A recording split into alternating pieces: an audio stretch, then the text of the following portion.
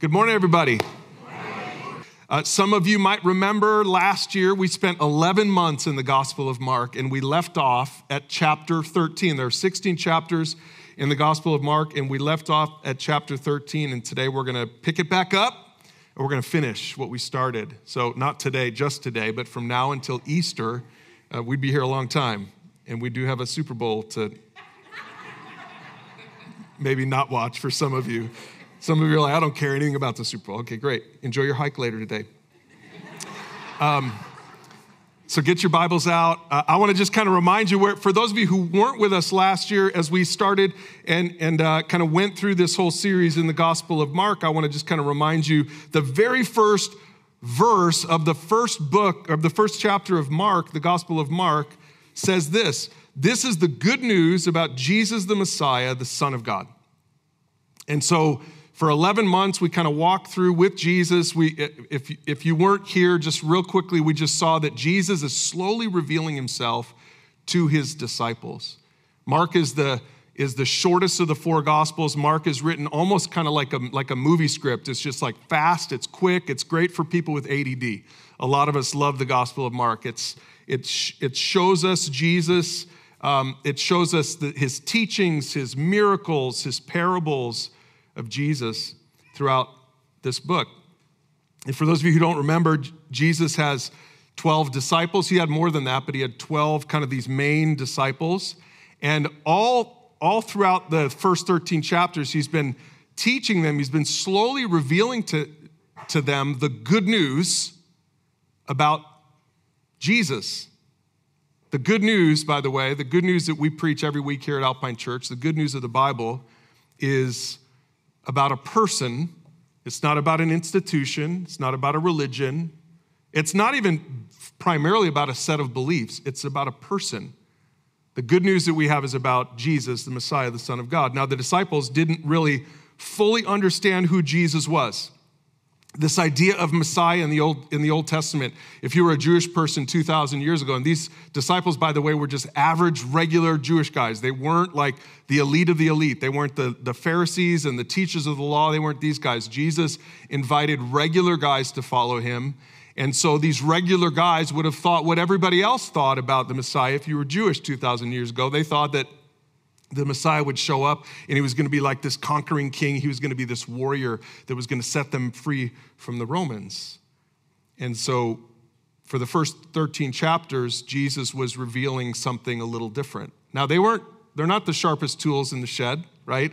So the disciples didn't, not, I mean, we're not either. Like, really, let's not. I'm not trying to just throw them under the bus, I'm throwing all of us under the bus, right? Jesus calls Jesus calls regular people to follow him. In fact, only regular people can follow him. Only humble people can follow him. Only people who realize that they're not all that can follow him. Only, only, only those who recognize their brokenness at the end of the day are the ones that, that can get anything from Jesus because Jesus doesn't have anything to offer to somebody who thinks they have it all together. So if you're here today and you, and you realize that you don't have it all together, you're in the right place. That's, that's kind of where we all are. But for 13 chapters, Jesus is sort of revealing himself and he's, he's, showing, he's showing his disciples that, that he is not just, he's not just a, a good guy, he's not just like a, a Messiah figure, but that he's, he's slowly revealing that he's actually God himself. And that's one of, the, one of the things that they had a hard time understanding. That was one of the things that they had a hard time receiving about Jesus, about the Messiah. In fact, that's our question for today before we get into the text, uh, if you remember, as we've studied the Gospel of Mark, we've been, for the most part, we've been asking a question that we could pull like a thread through the whole message, through the whole text for the day. Today, we're going to cover chapter 14, verses 1 to 11. So we have a lot of ground to cover. But what we're going to be asking as we go is this question How do you, hard, how do you handle the hard sayings of Jesus? There are a lot of hard sayings of Jesus. I mean, Google it, and you can find a whole list of hard sayings of Jesus. But there are three in particular that I want to talk about today. I want to talk about some of his hard sayings about finances. So I want to talk about some of his hard sayings about his divinity and some of his hard sayings about salvation. So we're going to talk today about finances, divinity, which is like a theological thing, his divinity, and then salvation, which is kind of like a practical and a theological thing combined into one. So, just real quick, because again, we're going to see it in the text when we get there. Before we get there, I want to kind of prime the pump a little bit and get you thinking about it. Like what Jesus says about money, do you accept it? Do you believe it? You know, Jesus said you can't serve both God and money. And a lot of people, I think for Americans, that's probably the biggest hard saying, is we kind of like our money. We kind of like our lifestyle. We don't want, we don't want God telling us how we should spend our money. Uh, years ago, one of our overseers joked that when we baptize people, we don't have them hold their wallet up out of the water. you know, like we baptize, we baptize you, but you get to keep that unblemished. God doesn't get to touch that. Like, does God impact your finances? Does your faith impact your finances? The Bible, again, Jesus says, where your, where your treasure is, there your heart will be. And so it's so true. Jesus actually said more about money than, than, than, than he did about most topics. And I, I would only imagine that if he, were, if he were walking the earth today, he would say even more about money, especially here in America, because we have so much. So we're gonna, we're gonna take a look at Jesus' view on finances a little bit today. Or how about the second category we're gonna look at today that Jesus claimed to be God? For some people, that's the biggest, that's your biggest hurdle. And by the way, that is a hurdle you have to get over. Because you can't, you can't believe in the Jesus of the Bible and not recognize that Jesus is God. I remember 10 years ago, Jason Doman, who is now our youth pastor, 10 years ago, he walked into this building for the very first time, checking it out. He didn't grow up in a church like this. He grew up in a church that, that taught different things about Jesus. And he heard the message 10 years ago, sitting right back there in the back row. That's where, you know, that's where people like that sit. no, I would be back there too. I'm just kidding. But he, he's, he's listened to this message. I don't remember what the sermon was about. It wasn't about the fact that Jesus is God, but I think I just happened to mention it along the way. Jesus is God, and it blew his mind. And he went back into the car. He didn't even bring his family this first day because a, a, good husband, a good dad isn't going to do that. He's like, I want to make sure it's not a cult first. I get, I totally get that. And he calls up his wife. He says, "You'll never guess." What? What? Lacey said. They said Jesus is God. She's like, wait, what? Like God, God? He's like, yes, God, God. They said Jesus is God. And I, I remember just hearing his, him recount that story later and how that absolutely changed his whole perspective. Something as simple as that that changed his whole perspective on the Bible. And so some of you, maybe that's where you are today, is, is you're trying to understand this idea that Jesus is both fully man and fully God. Now, in the first in the first 13 chapters, we've talked a lot about this, and we have more resources at pursuegod.org about this. But some of you are here today, and that's still the big question, the hardest question for you to wrap your mind around when it comes to Jesus is that he is God. How can that be? Or the third question really is, is related to that second question about Jesus being God. It, it has to do with how a person can be saved. You know that Jesus, the Bible teaches that you are saved no thanks to anything that you do. Talk about like un American, right? Because in America, aren't we like, I'm gonna, I'm gonna make my own way. I'm gonna pull myself up by the bootstraps. I'm, I mean, that's why that's why godly people are cheering for Brock Purdy today, because he was Mr. Irrelevant. He was like the last guy in the draft. He was not like a, like he wasn't, people didn't think he would even be here today. And we're like, yes, that's an American story, right? There's something about us that, that it's, it's, it's built into most of us where we just, we want to contribute to our salvation. Like, like we want to work for our standing with God. There's something that's very American about that. We want to work for our standing with God, and yet Jesus says, you can't do a single thing to save yourself.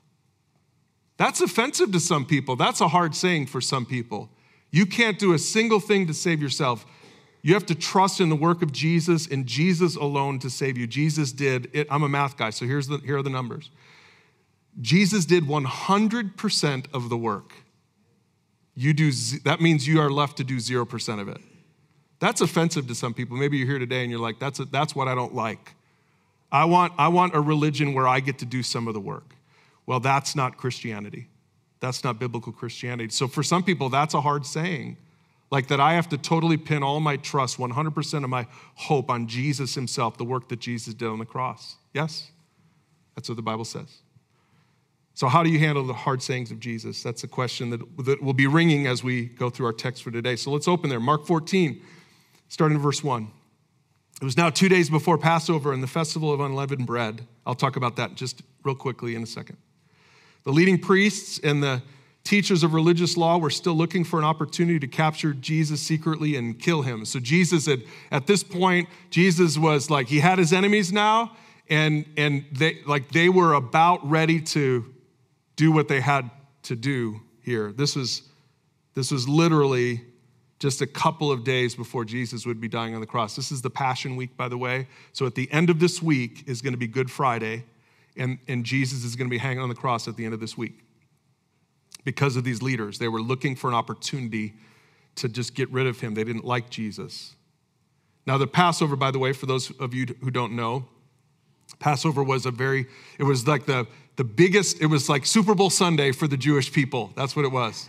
It was like the biggest day of the year. It was when all the Jewish people descended not on Las Vegas, they descended on Jerusalem. All the people, uh, many of the Jewish people would gather in Jerusalem and they would celebrate a Passover meal together, which was a meal that was commemorating something from the Old Testament. You know, that story where Moses goes into Egypt and he says to Pharaoh, Let my people go. And and, and Pharaoh says, No, I won't let him go. And if you remember that story, he releases the 10 plagues. And finally, the night that they left, Moses gave this commandment to the people of Israel. He said, You need to, you need to kill a lamb, and you need to put the blood of the lamb over the doorposts. And if, and if when the angel of death comes to a door that has the blood of the lamb over the doorpost, then that angel of death will pass over that home. And that home that the, the firstborn in that household would not have to die. Now, if you know the gospel message, by the way, by the way do you see the, just all of the beautiful symbolism? This is all stuff that is going to happen now later. It's part of the gospel message, but of course, Moses didn't get that. And the disciples don't get it either. So Jesus is about ready to do this, have this meal that, that involves a sacrificial lamb. It involves unleavened bread Uh, it was unleavened because the Israelites didn't have time for the leaven to work its magic and the, for the bread to rise. And so it was just basically a cracker, matzo.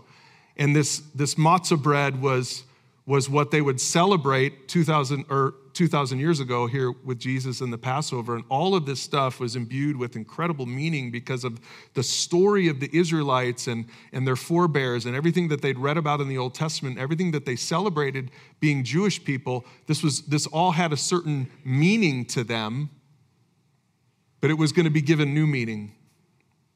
Next week, make sure you're here because we're going to talk about the four cups of wine that they would, that they would drink at that Passover celebration. And we're going to get into what those four cups were and which of the four cups was, was the wine that Jesus probably took when the thing that we commemorate with communion. We're going to get into all those details next week. We don't have time today for it, but next week we're going to see some more of that. So that's what's going on. This is the Super Bowl Sunday of the Jewish people, and and and little did Jesus know that he was he would well Jesus did know, but the disciples didn't fully understand what was going to happen by the end of this week. But it says that in verse, verse 2, it says the, the leader said, let's not do, let's not, let's not get Jesus during Passover because the people may riot. They recognize like there was a right time and a right place for putting Jesus on trial and getting rid of Jesus. It says, meanwhile, Jesus was in Bethany at the home of Simon, a man who had previously had leprosy. While he was eating, a woman came in with a beautiful alabaster jar of expensive perfume made from the essence of nard, and she broke open the jar and poured the perfume over his head. All right, let's pause for a second. I got to explain some stuff because again, you're reading this and you're not necessarily you're not necessarily putting all these things together, but but we we see that there's some characters here, and it's interesting that Mark doesn't name any of the characters except for Simon, this guy who previously had leprosy. Now it doesn't say anywhere in any of the Gospels that Jesus healed this guy, but clearly he didn't have leprosy anymore. And leprosy, it turns out, is really hard to get rid of 2,000 years ago. And so I, I put my money on that, that Jesus had healed this guy sometime previous, even though Mark doesn't say that. That's my guess. But if we kind of put Mark 14 next to John 12, you can go read that later. John 12 is, is another gospel. John chapter 12 is, John tells this exact same story, but he gives a little bit more information. So if you read John chapter 12, what you'll see is that this woman that we're seeing in this passage is Mary, Lazarus' sister. Okay, so Lazarus is the guy that earlier Jesus had raised from the dead. And Mary is Lazarus' sister. Remember, Lazarus had two sisters, if you remember this, Mary and Martha. And Mary is the one, it turns out, who's coming and, and who's doing this thing, who's breaking open this jar and anointing Jesus. So, by the way, one other thing about that is there's, I think there's a good chance that Simon then is Mary, Martha, and Lazarus' dad. Just, just for, for those of you keeping, keeping uh, track of things there. The coolest thing about this whole story, this is something that we wouldn't understand today, but I, you need to understand this. The coolest thing about this is the fact that this would have been an interruption that was considered rude. It's, it was considered rude for a, for a woman. In fact, I want to read this from Pillar New Testament commentary because I don't want anyone pointing fingers at me. This is, these aren't my words. This is just the truth about the culture 2,000 years ago. Let me read this. Just everybody get ready. You're not going to like this. It says, as a rule, it was a breach of etiquette for Jewish male fellowship to be interrupted by women unless they were serving food. hey, it's Super Bowl Sunday. I feel like you do what you want with that. Okay, I'm so totally joking. Some of you are laughing and some of you are like appalled right now. Here's the, here's the coolest thing about that. Again, I know so many people that would be so offended by that, but here's what I want, here's what I want to show you. Look, this was the culture 2,000 years ago. This was the culture. It was just, it wasn't just Jewish culture, it was ancient culture. It was, it was ancient culture. Here's what I want you to take away from that Jesus didn't feel that way. So many people feel like Christianity or Jesus or whatever is like, like, I don't know, toxic masculinity. Pay attention to this. Jesus did not feel that way. Jesus did not feel like he was being interrupted. Jesus loved Mary. Jesus, w- pay attention now in the context of this, pay attention to what Jesus is going to say and how he's going to talk to her because it's not the way men would have talked to a woman in that situation. It's probably not even the way some of the, some of the men watching, maybe even some of the disciples watching, it's probably not even their instinct. Watch, watch how loving Jesus is. Before we get to that, I've got to just say one more thing about this passage before we move on. That this perfume jar was likely a family heirloom. It's hard to even for us to even fully understand this story 2,000 years later in our culture. But you need to know that when she, when she anointed Jesus with this alabaster jar, she had to break the jar. The, the, actually, the original Greek for this, the word for this is she, when it says she broke open, the word is better translated, she smashed it. It wasn't like a screw top where you could like unscrew it, pour out some, screw it back up. She had to take that whole jar, she she, she smashed the jar to anoint Jesus. And this jar, well, as you see here in verses four and five, it says, Some at the table were indignant. Why waste such expensive perfume? They asked. It could have been sold for a year's wages and the money given to the poor. So the guys there scold, scolded her. Now, Mark doesn't tell us who scolded her, but John does. Go back to John chapter 12. In John 12, verses 4 says, Judas Iscariot, the disciple who would soon betray Jesus, said, This thing was worth a year's wages. So, see, Mark leaves his name out. Mark just said, Mark, John tells us Judas is the bad guy who says, How dare you do that? Mary, you just wasted a bunch of perfume. But sorry, John tells us that it was Judas, but Mark just says some of the guys at the table. So Mark says it was probably even more than Judas. That there were a couple of the disciples who were offended by this. Now let's pause for a second. I, want you to understand what's going on here and how it relates to the hard sayings of Jesus. I see, I see a couple of things here. First of all, this was a financial thing. Some of the disciples did not appreciate the, finan- the financial side of this. Some of, some of them felt like this was wasteful. Some people felt like it was wasteful. I remember a story, I think I've shared it before, but a, a guy at a church, not this church, another church, the pastor was sharing this story. He said, A couple came in and said, Hey, this other family in our church, they're down on their luck. They, they, the husband lost the job. They've got some serious needs. And they said, We want to we want to give our house to them. We want to give our house to them. And, uh, and the pastor said, he was sharing this with a bunch of pastors. And he said he spent, his first instinct was to spend the first 10 minutes talking this couple out of that. That's the story, isn't it? And I, and I, I felt the same way. I, w- I would have probably talked, like, whoa, that's a little over the top. Like, how about we just take up a little, a little offering? And, and the couple was insistent. They were like, we can afford, the house is paid off. We can afford a house payment. They can't. So they did. The pastor finally relented. And that couple gave the other couple their home.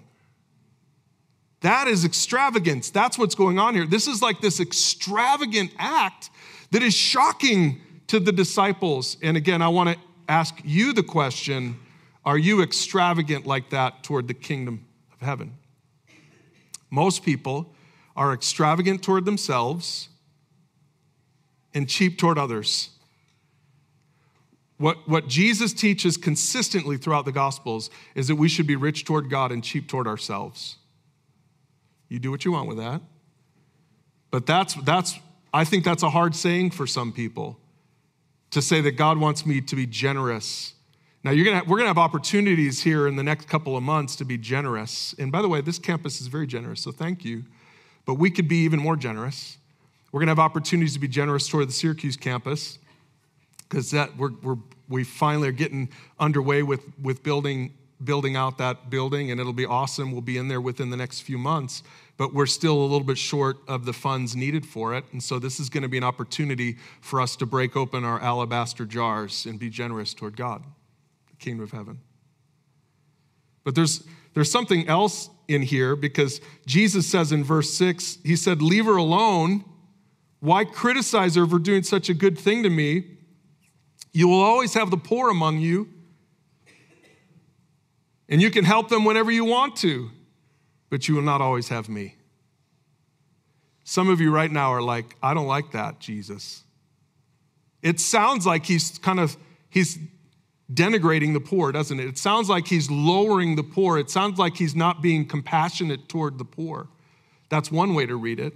Another way to read it is to recognize that Jesus is God. Another way to recognize it is if if they understood that Jesus was God, that Jesus was fully God, then you would understand that, that this, this is not a wasteful thing to be extravagant toward God Himself. So to me, this, this touches on the second issue that, that some people have when they read the Gospels is that Jesus is worthy of this. Because Jesus isn't just a human, Jesus is God. The disciples had seen this, they'd heard this, but they didn't, some of them were still having a hard time believing it. Jesus went on in verse 8, he says, She's done what she could and has anointed my body for burial ahead of time. I tell you the truth, wherever the good news is preached throughout the world, this woman's deed will be remembered and discussed. So here's the third thing. See, again, we don't understand this, but when it says that she's anointed my body for burial, there were, two, there were two precedents in the Old Testament for Jewish people, two reasons you would anoint somebody. Number one was for coronation. You would anoint somebody before they were going to be king, like what Samuel did for David. Remember, he anointed David, and so he anointed him as king. So there's all these anointings in the in the Old Testament. And by the way, isn't it interesting that the, all the anointings in the Old Testament are men anointing men And here's a woman anointing Jesus. And Jesus accepts it. He, he's not like, whoa, hey, you sh- go get me some chips and salsa. That's the Jesus we see here. He's a Jesus who's given this incredible value to women. This incredible value to women. But there's, there's a second kind of anointing for the Jewish people, and that would be the anointing at someone's burial. So you'd either be anointed as king or you'd be anointed right before or right, sorry, right after your death and burial. You'd be anointed with this fragrant perfume. And here's what's cool about this. Here's what I think. I think Mary was anointing Jesus as king. But look at what Jesus says. Jesus gives it a whole new definition. He says, No, she actually anointed me for my burial. I don't think she knew that. In fact, later on, as we read Mark chapter 16, after Jesus d- dies and is in the tomb for three days, remember the women went to the tomb? Do you remember what they went to do? To anoint his body. But he was gone. Spoiler alert. For those who don't know the story, he was gone. He was already risen. So, literally, this was the only anointing Jesus would have for his burial right here. How does that relate to the question of salvation? The whole thing that to this day some people have a hard time wrapping their mind around is that Jesus came to die. Mary had a hard time with that. The disciples had a hard time with that. They thought Jesus came to rule, but Jesus came to die. And that goes against our perspective of the Messiah, of salvation, of all this stuff. Jesus, Jesus came to die. Why? For your sins and for my sins. So that if we would put our faith in Jesus and in his work alone, then we would be saved. And some people just have a hard time with that. Some people have a hard time with a Savior who would die. Now, Jesus didn't stay dead, we know that. But some people just have a hard time with this whole message. In fact, Paul says in 1 Corinthians that for some people it just sounds like foolishness. And I think this was the turning point for Judas. I think Judas took in Jesus' teachings on money, and he didn't agree with it. I think Jews, Judas heard Jesus' teachings about his divinity and his worth, his value, and didn't agree with it. And I think finally, this is probably the, the last straw is that Jesus, Judas took in these Jesus' teachings about his mission, that his mission would be to die. And it didn't match up with Judas and how he viewed things and how he thought it should work. And so that's why I think it says in verse 10 that Judas Iscariot, one of the 12 disciples, went to the leading priests to arrange to betray Jesus to them. It wasn't until after all this. It wasn't until after Mary did this extravagant thing that had so much meaning, but I think underlying all that meaning, it was just it was just making Judas wrestle with these hard sayings, and it finally brought him to a fork in the road where he's just like, nope, this isn't the guy. And so, so he made plans to betray Jesus says that they were de- delighted when they heard why he had come, and so they promised to give him money. And so he began looking for an opportunity to betray Jesus. Come back next week and you'll see what happens. And then the next couple of weeks, we're going to be talking about Judas. But to, to close today, I, I want to bring us back to one of the verses that we spent a lot of time on last year in chapter one. At the very front end of this whole thing, Jesus said this The time promised by God has come at last. The kingdom of God is near. Repent of your sins and believe the good news. This is chapter one. This is like one of the first things Jesus said. And remember, Judas, Judas would hear this kind of language. And every time Jesus talked about the kingdom of God, Judas had in his mind what that meant. And it, by, the end, by the end of these three years, Judas is here, and it didn't line up with what he thought it should be. It turns out the kingdom of God isn't about a king, an earthly kingdom being established to overcome the Romans. Because if it was, Jesus wouldn't have died at the hands of the Romans. It turns out the kingdom of God is a, is a spiritual kingdom. And the key to entering that kingdom is this word here that Jesus himself used repent of your sins and believe the good news. Jesus is good news, not yours. Not your version, Jesus' version, and everything that that matters or that that, that entails. Repentance, repentance is about turning from your way and your perspective to God's way in his perspective. It's about, it's about coming up against a hard saying of Jesus, whether it be about finances or his identity or the, the way of salvation. It's about coming to some of those hard questions. And maybe there's a hundred other hard questions that, that you still have to deal with when it comes to Jesus. But repentance is about taking your ideas and your baggage and your stuff, and it's coming to Jesus and being presented a different view of things, and then saying, I'm going to go with your view, not mine. That's repentance. Repentance is saying, This is hard for me to grasp. It's hard for me to understand A, B, C, or D, or E, or F, or whatever. I'm having a hard time understanding how this could be, Jesus, but I recognize you're God and I'm not and I'm going to come your way. Repentance is, is saying to Jesus, I'm going to come to you on your terms. I'm not going to make you come to me on my terms. And I want to invite you today, if, if you have your, your own hard sayings, if you have your, the, your own things that you've been wrestling with when it comes to God, I just want to invite you to do the opposite of what Judas did. Judas came to that fork in the road and he was just like, I can't handle it. This is too much to handle. And he betrayed Jesus. But 11 of those other guys, we're going to learn next week, 11 of those other guys still followed Jesus. Now, they weren't perfect and they still had their questions. And they also would leave Jesus for a time. But at the end of the day, they came back to Jesus because they had a heart of repentance. And I want to invite you to approach God with that same heart, to say, Jesus, I want to come, I want to see it your way. I want you to help me to understand some of these hard teachings and some of these things that I'm wrestling with, and I want to just trust you and give my life to you. And I invite you to do that today. Would you pr- bow and pray with me today? Jesus, we just want to say thank you that you are such a such a good God. You're such a gracious God. And God, I, just I want to say to to you that I've had my own times of wrestling with you, and I'm sure that there are a lot of people in here who would say the very same thing. And there might be some in here today who are wrestling. There's, a, there's like a battle, even for their soul, going on, even right now. And Jesus, I pray that you would get through to those hearts. God, may we have a heart of repentance. May we come to you and say, You're God, I'm not. Even if it's hard to understand, I want to go your way.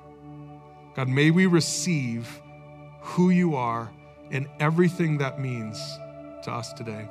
We prayed in Jesus' name. Amen.